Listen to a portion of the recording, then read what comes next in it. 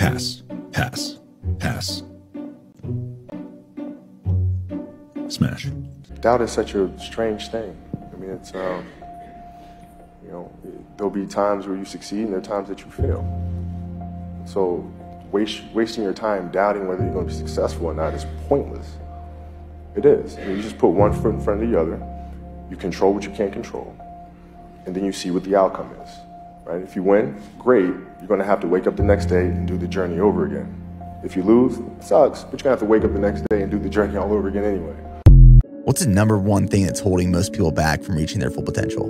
The story. The story they sell themselves on. Everyone's got a story. And everyone wants to tell you their story of how bad they had it, how hard they had it. And the more times you tell yourself or others that story, the more you reinforce the fact that you're not meant to have happiness, success, abundance, great relationship, awesome health, abs, whatever. They don't realize that they still hold the pen. And there's thousands of empty pages still in that book that they can rewrite that story. But we have to let go of the pages that others have written in our book and realize we got this pen. And we can start writing how the story looks from this day forward.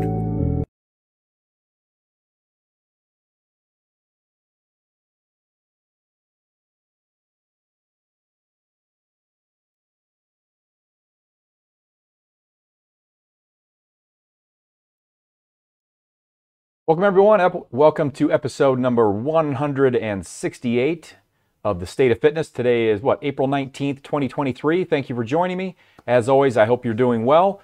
If this is your first time joining, joining us, welcome. I'm David Greenwalt. I'm the founder of Leanest Lifestyle University. For 24 years and counting now, I've been using science and experience to help our clients lose the excess one more time for the last time so they can live their best life with the body and the fitness they desire. So, for first timers, each Wednesday, which this is if you're live with me, on these states of fitness, I discuss anything weight management oriented, health or fitness oriented, anything that's top of mind related to fitness for the week. This state of fitness is my 168th uh, in a row since February 5th, 2020. So if you haven't subscribed to the YouTube channel here and you like what I'm doing, please do subscribe. It'll help keep you in the loop. You won't get bombasted with uh, messages or anything. We don't do it for that, but it kind of helps us out. It lets YouTube know that we're liked by a few people, all right? So uh, let's start off by taking a quick look at some student highlights from this past week, okay? Looks like that's showing up okay. Good deal, good deal. All right, I'm gonna do a little different this week. Just wanted to shake it up a little bit. Um, nothing crazy, but I just want to highlight some students and just give a few student shout outs um, who uh, achieved some cool things this week. So I'm leaving the last names off because uh, my states of fitness are open to people on the email list and people that aren't members um, uh, some of the times, and this is one of those times. So uh, I want to give a shout out to Kimberly G for maintaining. You know, a lot of our students the whole objective here is to lose the weight one more time for the last time. So we really like to make sure that we highlight the students that have gotten to goal and are still maintaining because, you know, as so, so many of us know, you know, the fanfare and the parades and the confetti, uh, that all usually happens when we're in action and we're losing weight and people start noticing, oh my gosh, what are you doing? You've lost this, or what you know, what are you doing? Tell me, tell me what's going on. I'm really noticing things. But once we're in maintenance a while, that fanfare really goes down. So we like to make sure that we continue to support what we're here to do, which is to get the weight off and keep it off, um, and also to highlight the students that are doing that. So Kimberly G is doing that. She's maintained a 21 pound loss for 144 days. Way to go, Kimberly. Kim L achieved her five week goal. Within our program, we set goals uh, in five week increments. Not too long, not too short. If you get into trouble, it's not going to be that long and you're going to get a reset. Um, and also, the goal isn't that far out. It's not 26 weeks out where you're like, oh my gosh, this goal is going to be 26 weeks before I get to say I accomplished it. We keep adding those five week stepping stone goals together until we get to our ultimate. So, Kim L has achieved her five week goal and she's down 42 pounds. Now, she didn't lose 42 pounds in five weeks. She's, um, as I said, she has stacked these five week goal successes together and she's now down 42 pounds though. She just achieved another five week goal. Phyllis M is maintaining 27 pounds lost for 1,200 days. 1,200 days, 365 days in a year. Um, I know that at like 14, what is it, 1,460 days, she will have earned her PhD. She will have kept the weight off uh, for four consecutive years. So unbelievable. Way to go, Phyllis. Cindy S., um, newer, and she has achieved uh, one of her five week goals, and all in, she has uh, lost and she's down 21 pounds. So, way to go, Cindy. Outstanding work. Um, I got a message. You know, I was conversing with a, a student today, one of our male students, and um, he's been with me a long time. And that's in the, and, and in our conversation, he wrote me this. He says, "I've been an LLU member for 20 years. I've had my stumbles along the way, but I've never gotten close to the 230 pounds from when I started. Thanks for all the support and guidance. My life would be very different without LLU and not in a positive way." This is a male student maintaining a 45 pound fat loss. So been maintaining it for, for quite a while now, doing really well. So anyway, it just means a lot to me. Um, I just want to thank him uh, on this anonymously so much. It, it really does mean a lot. I don't take any of it for granted. I really don't. Thanks so much. Becca, got to highlight Becca. I'm going to be highlighting some, you know, students more. So um, I've got some others that I'm going to be sharing too. But I gotta, I gotta give Becca a shout out here down 90 pounds. She's going for 10 more. Her start date was June of 2021. She hit the 90 pound mark um, in June of 2022. And she's decided kind of recently that she wants to go down about 10 more. So, way to go, Becca. I mean, look at that. Look at the picture. It's just unbelievable, isn't it? I mean, it's just uh, so happy. I've had the privilege, I'll share a picture. I haven't shared this on our Facebook group but I had the privilege earlier this year to meet Becca and her husband um, when Mary and I were in Florida in person. In person. So I'll share the picture. We had a good time. And anyway, congratulations, Becca. Outstanding work. And we're really, really proud of you. Top maintainers list. Want to keep this one in. Again, it's what we're all about. Lose it one more time for the last time. All of these students have achieved their, have achieved their lifetime goal. They've all uh, kept within 10 pounds of their lifetime goal for the number of days you see in the days column. They've kept off the amount of weight you see in the weight lost column. Okay, so we got students that have kept off just a few pounds for a few days, but they've achieved their lifetime goal. And we've got students that have kept off, you know, almost 150 pounds for more than a thousand days. So the students in green have kept their weight off for at least a year, at least 365 days. They are what we call master's candidates. Um, you earn your bachelor's when you've achieved your lifetime goal and you've graduated from Lifestyle 180. Okay, that's how it works here. When you've graduated Lifestyle 180 and you've achieved your lifetime goal, both, then you've earned your bachelor's in personal weight management.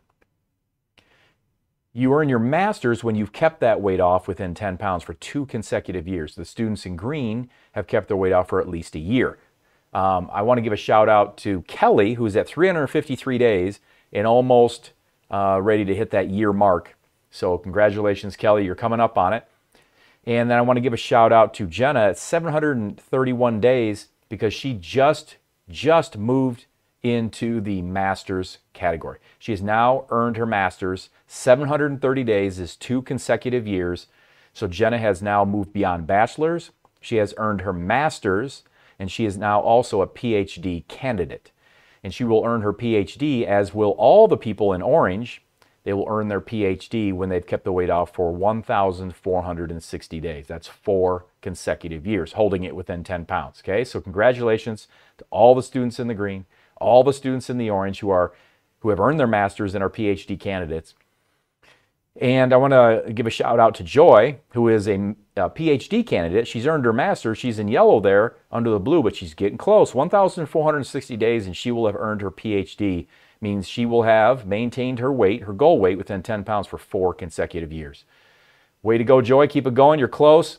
And the students in blue have earned their PhD. They've earned the highest level you can achieve at LLU. They have maintained their weight within 10 pounds for four consecutive years. Way to go, everybody. Way to exemplify what everyone is here to do. Okay, outstanding work. Um, all right, let's see. So I think it was back in episode 166, I did a lesson that I titled Tension Reliever or Goal Achiever. And at the end of that one, I had this slide. and many of us, or maybe all of us, are so familiar with this sentiment. You know, choose your hard. Losing weight is hard. Being overweight is hard. Choose your hard. And in the tension reliever goal achiever lesson, I went down, I really expanded it, and I really uh, went a lot deeper than what I've seen elsewhere. And I, and I covered the aspects of the fact that for both tension reliever and goal achiever, there is pleasure and pain and a flow of energy. And it has to do with the duration of pleasure, the duration of pain, and the flow of energy. So, where I, the reason I'm showing you this now, and I want to show you a couple uh, new ones, is I kind of kicked myself after that because I was like, everybody shows the choose your heart. Now, I had already given a probably a 25, 30 minute lesson to build up for this. There was a lot more understanding over what it means to, for to be a tension reliever versus goal achiever. But I think a lot of people, you know, and it just kind of drives me crazy, which is why I'm, I'm doing this, are left with that still that same sentiment. Choose your heart, right? Um, losing weight is hard, being overweight is hard. But I really should have mentioned this. Losing weight is easy. Being overweight is easy. Choose your easy. That you don't ever see anywhere but it goes perfectly with the tension reliever goal achiever lesson. Losing weight is easy. What do you mean losing weight is easy? Well, if you caught episode 166, you know what I mean. The duration of pleasure, when you're in maintenance and you're cruising along, does it still take energy? Yeah, and I'll talk about that. All right, uh, just briefly, because I'm not going to cover the whole lesson. I just want to briefly mention this.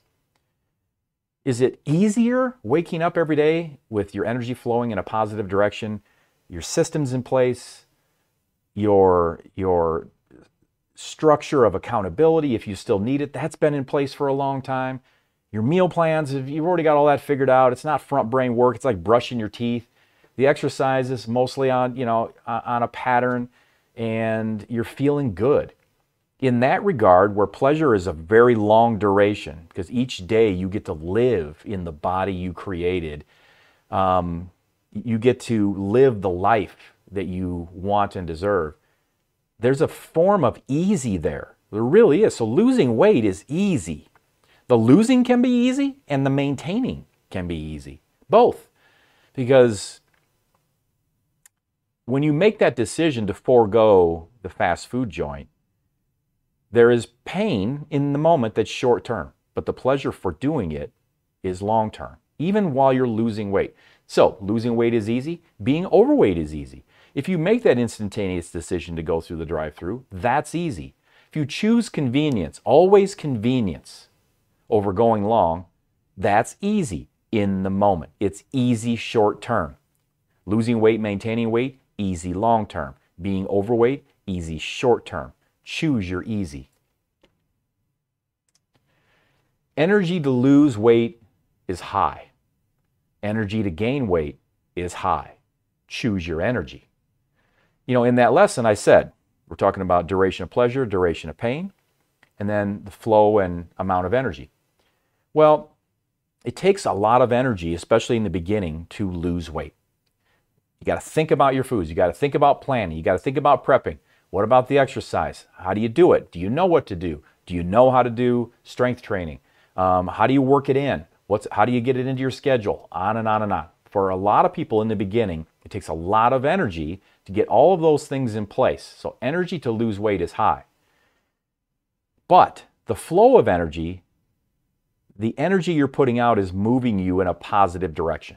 The flow is positive. You are moving forward. You are moving beyond your status quo. You are moving beyond a stagnant place. You are moving beyond continuing to gain weight. You are moving in a positive direction. The energy is moving you toward a positive place. The energy could be high, but the flow is positive. The energy to gain or stay the same where you don't want to be is high. It takes a lot of energy to wake up each day not being where you want to be. It takes a lot of energy each day to wake up and realize that it's still something you want to do. The energy of what, what you feel about yourself, trying to find the clothes that fit, um, trying to figure out how you're going to manage social situations, whatever it is for you, the energy is draining.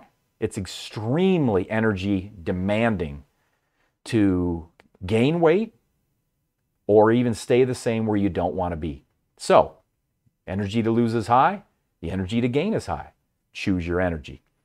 So, it really is choose your hard, but also choose your easy. Because losing weight and maintaining absolutely can be thought of as easy if we think about the long term aspects. And choose your energy. Energy to lose is high, energy to gain is high. Choose your energy. What direction do you want? It's still going to take a lot of energy to lose. It's still going to take a lot of energy to gain or stay the same. It takes a lot of energy. No, it's just easier. No, it's not. It's not just easier.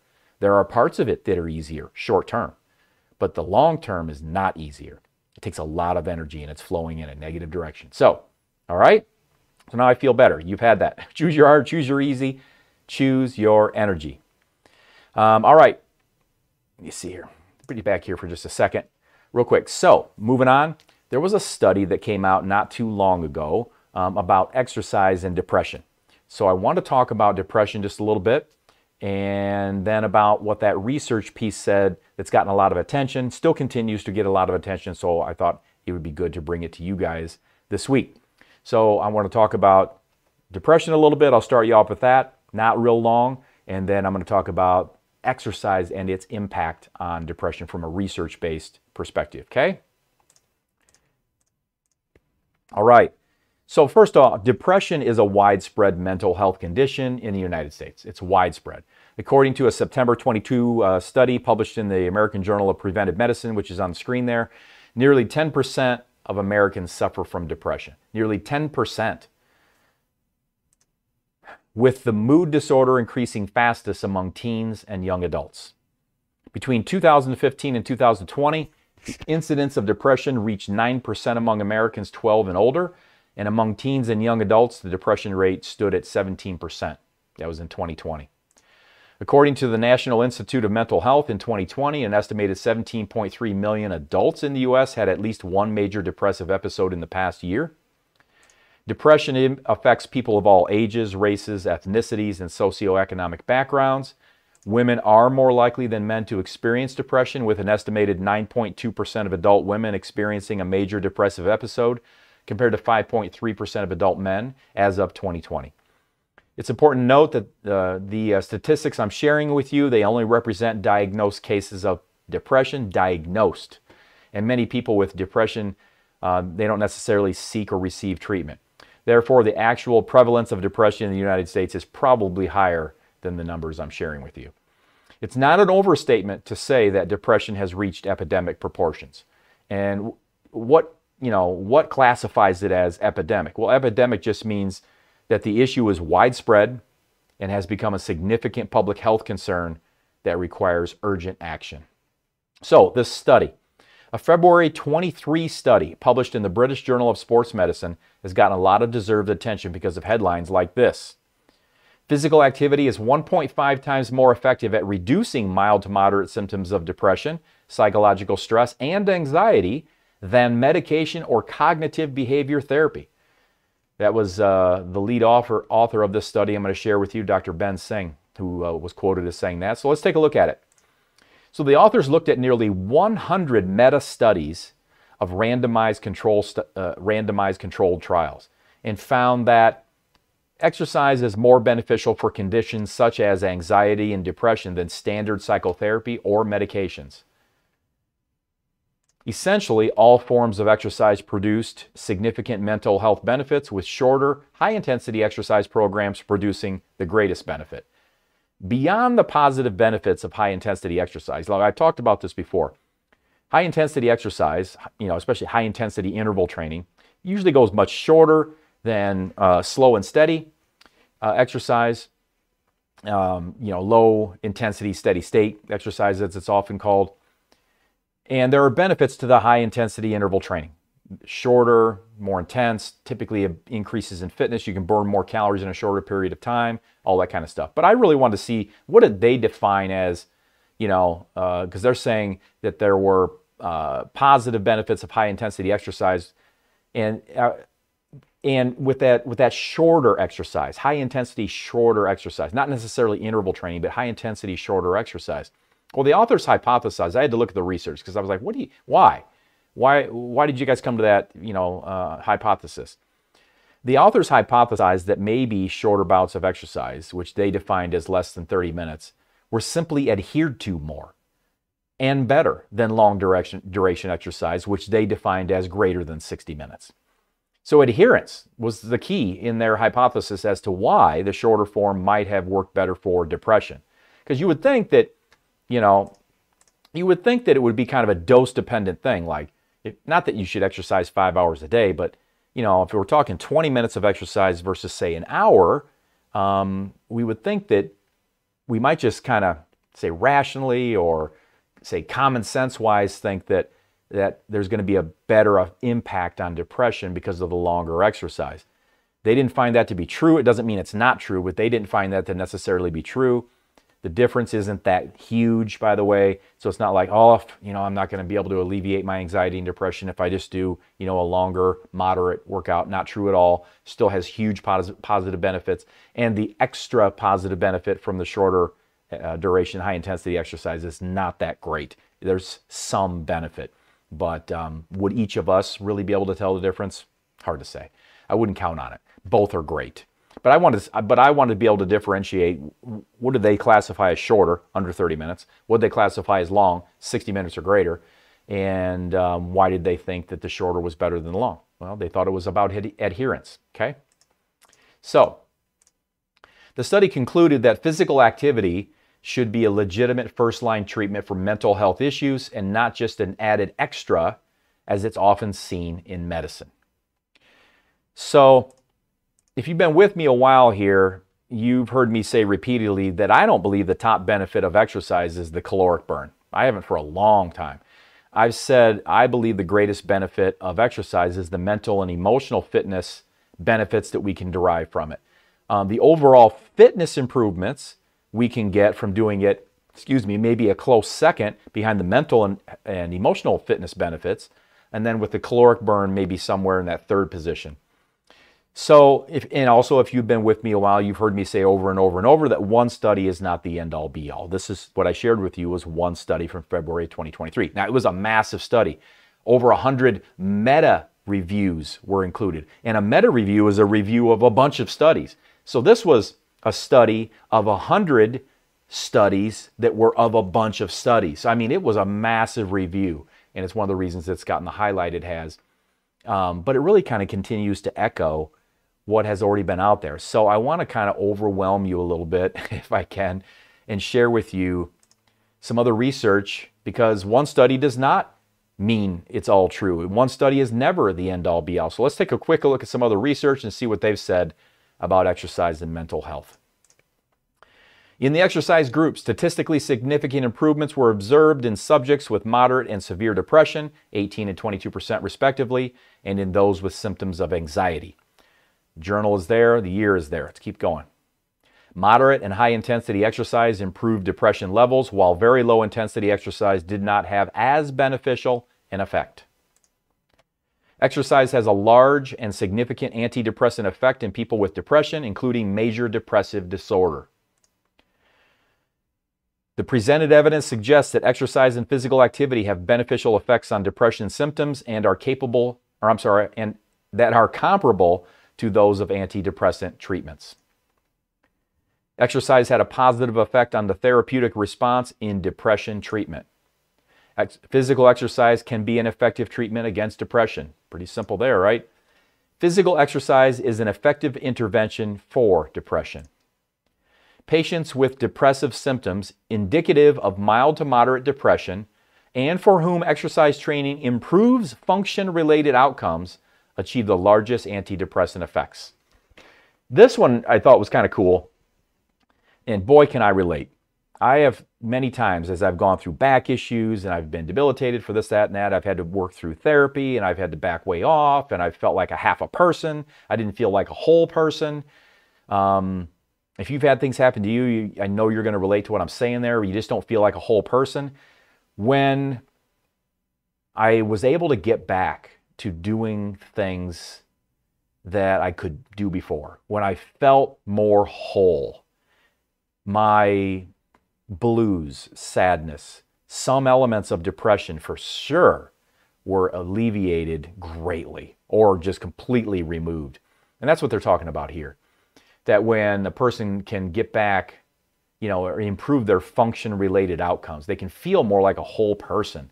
Um, this is just one aspect of how exercise could be an antidepressant. All right. So I like that one. Data of randomized controlled trials suggest higher sizes for the effect of exercise on, on anxiety and depression, leading to increases up to moderate and large effects, respectively. Implications for rehabilitation from mild to moderate depression. The effect of exercise may be comparable with antidepressant medication and psycho, uh, psychotherapy.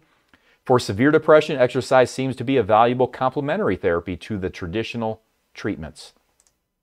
These data suggest that the beneficial effects of exercise may extend to breast cancer patients with depression and may be initiated prior to and during cancer treatment.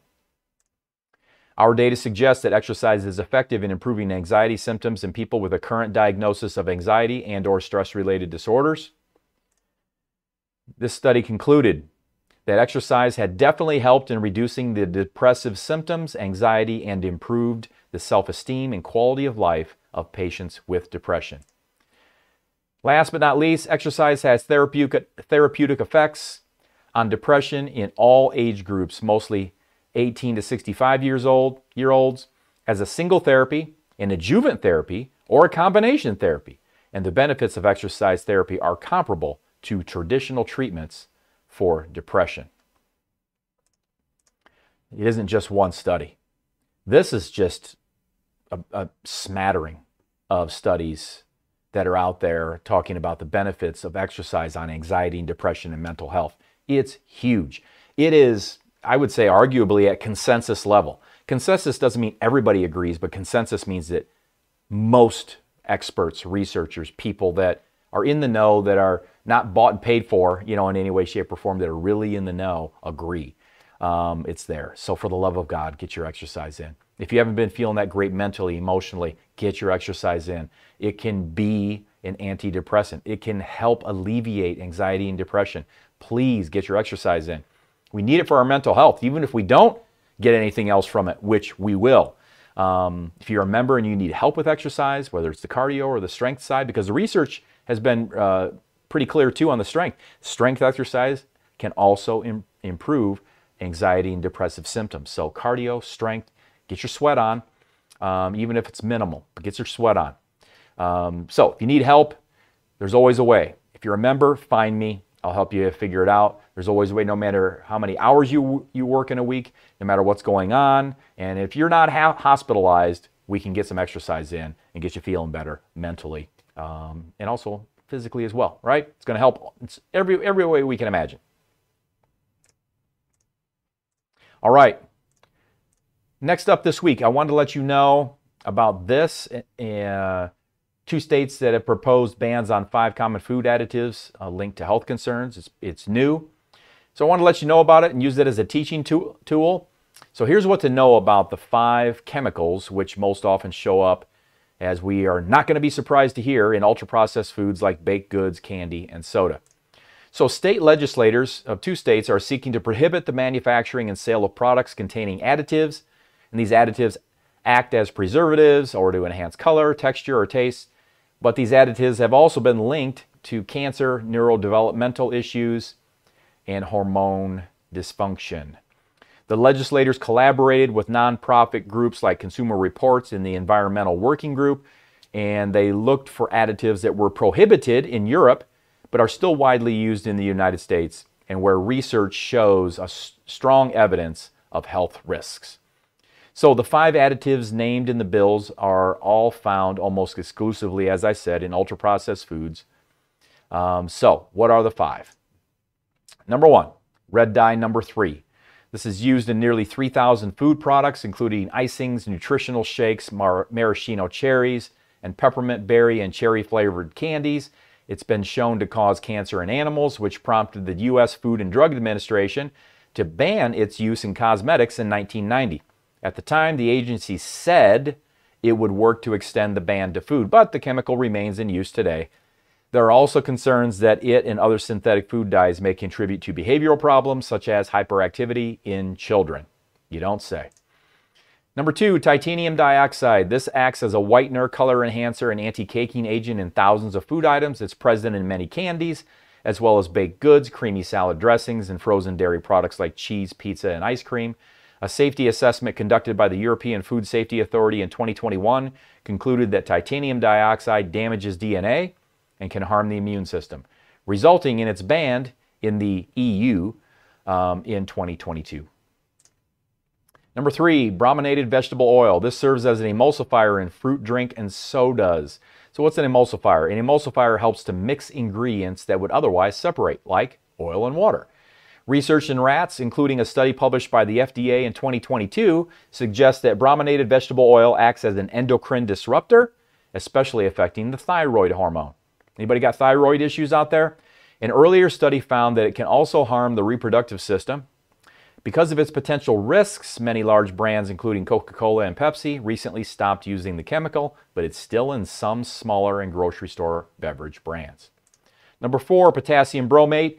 This is primarily found in baked goods, including breads, cookies, and tortillas, where it acts as a leavening agent and improves texture. The additive is classified as being, quote, possibly, carcin- possibly carcinogenic by humans or to humans, unquote by the International Agency for Research on Cancer, based on studies conducted in animals.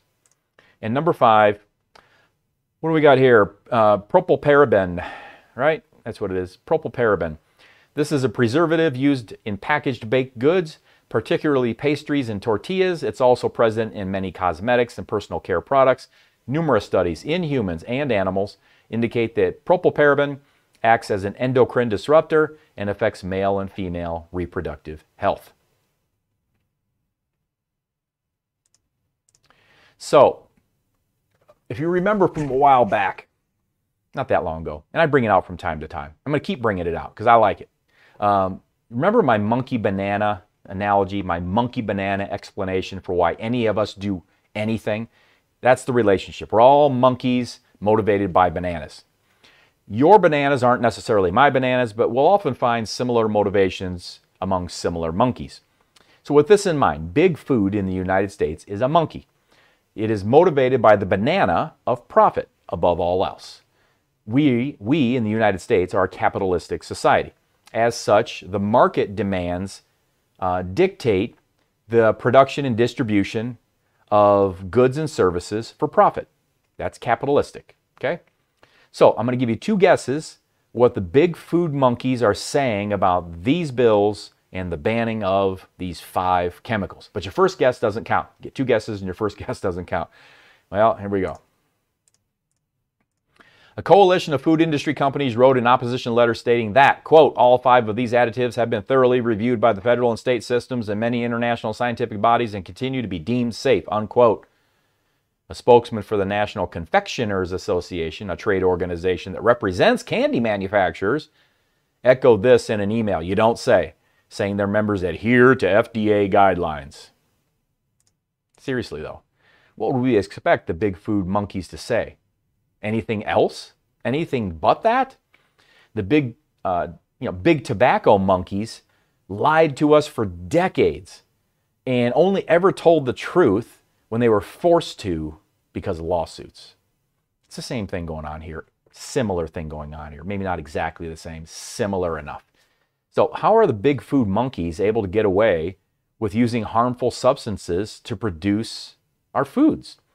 Isn't the FDA on the lookout for toxic garbage in our food supply? Yes and no. They are, but they're really hamstrung, they're really overburdened, they're really understaffed, um, and so on and so on. So remember, we have congressional monkeys. Everybody's a monkey. Everybody's got bananas. We have congressional monkeys motivated by the banana of money for reelection above all else.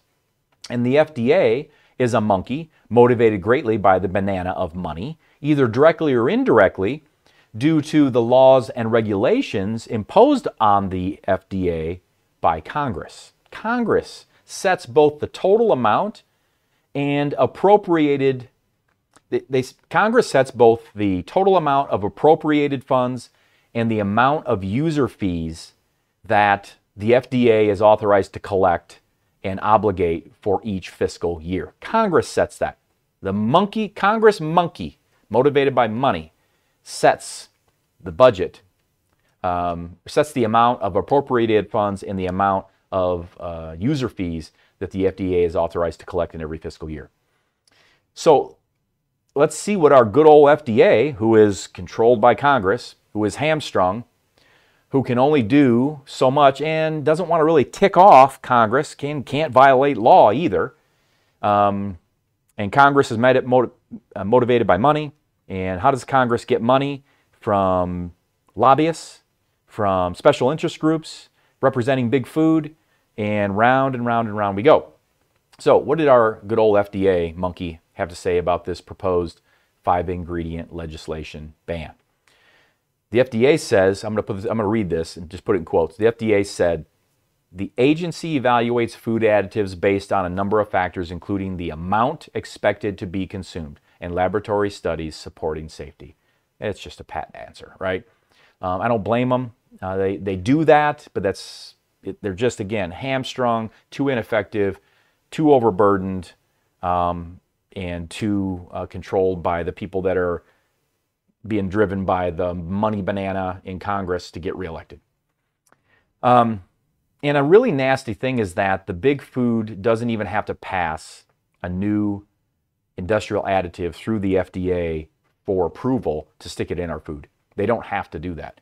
Uh, big, food, big food can use in house researchers, and if they find insufficient evidence to prove the new additive is harmful, it can be good to go. So, new additives are innocent until proven guilty. They do not, most times, pass through the FDA for some rigorous scientific study and approval. No, they don't. And another thing about the over 3,000 industrial additives is they are often assessed for safety in animal research because it'd be inhumane to test them on humans. And they are tested individually. So this, uh, what was it, polypropylbaron? It would be tested individually. It would be tested to see what its toxicity is by itself without consideration of the barrage of exposures we're, we are all subjected to daily from air, water, soil, clothing, you just name it, right? Food we eat, everything that we're exposed to, all the toxic exposure. They don't take that totality into consideration.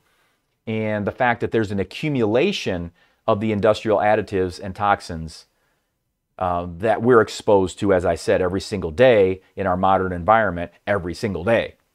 It's accumulating, it's cumulative, there's a totality to it. So to look at any single ingredient and say it's safe up to this, in what world, in what planet, in what universe are you talking about? So if we follow the money, then it makes sense. If we forget to follow the money, it can seem mind boggling how otherwise really smart people, and so many of these people are really smart people, can ignore the fact that although one individual food may not have a potentially harmful exposure concentration, the fact that we eat so many different foods, it adds up in the body. And I'm going to expand this to what I said a minute ago. Not only the foods we eat that have all the industrial toxins, carcinogens, and um, and, and uh, chemicals that can be harmful harmful to us. It's our exposure in air, water, soil, you know, um, clothing, perfumes, detergents. It just goes on and on and on and on and on. Um, and I'm not going to drive myself with myself nuts with that stuff. I'm just going to do what I can, and that's what I'm, I'm going to suggest to all of you. This isn't a throw your hands up in the air and this is a defeatist and we're all beaten and yeah, no, not at all. We just do what we can. And one of the things we can do here, since uh, such a massive um, focus of what we do here is on quality food and the food we're, we're consuming, we can put a, a great deal of our focus there as a start and get a tremendous benefit from it by removing these endocrine disruptors, these toxins, these carcinogens, these things with unknown hormonal, mental, emotional, physical, health, autoimmune effects. Um, you know, we need a complete overhaul of the FDA's review process, but how, how does that happen when Congress is the one that makes the laws and regulations that FDA has that goes by? And there's a, you know, until there's a fundamental shift in how our system works, I don't, we can't wait for a top down solution here. I've said it before, I'm going to keep saying that. We can't wait for them to fix it. I don't think it's going to be fixed in my lifetime. Okay. I hope it's fixed in my, my grandchildren's lifetime, but I don't think it's going to be fixed in mine. So I'm not going to wait. I'm not defeatist. I'm just not going to count on them. And it's not about saying Congress is evil, the FDA is evil, and big food is evil. That's, that's not how I think. I just think it's important that we understand the relationship. We need to understand the relationship of how can these additives be okay? How can someone even come to the conclusion that they're okay without more research, without substantial research, and with the idea that we are taking into consideration the totality of all of our exposures to all of the industrial additives and toxins and carcinogens and things that are in our air, water, soil, clothing, texture, you name it. How? Um, we can do it because that's the way our system works. It's a capitalistic, system, capitalistic system. Congress money, determine FDA's money. Big Food feeds Congress to help make the laws, bought and paid for. Round and round and round we go. I'm done with them. Can't rely on them. Do what you can. Best of luck. If you change fundamentally, gotcha. In the meantime, I can keep a positive mental attitude in my own life.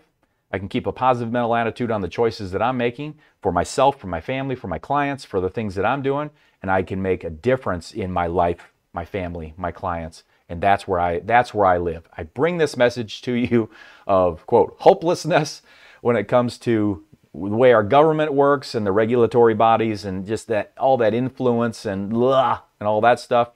Um, because I just think it's important we know the relationship, and we don't and we don't count on it. All right. So, what do we do? We keep following our food principle number one. NFL number one eat real food 95% of the time if you're in action, at least 90% of the time if you're in maintenance. Get a little bit more of a break if you're in maintenance on the real food. We're never going to get away from it 100%. We're going to be just fine. Okay?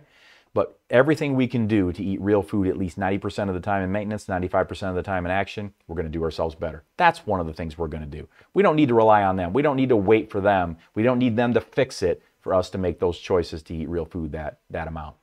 Um, I'm going to suggest that you don't try and look. You read the packages. It's always good to read the back, look at the ingredients.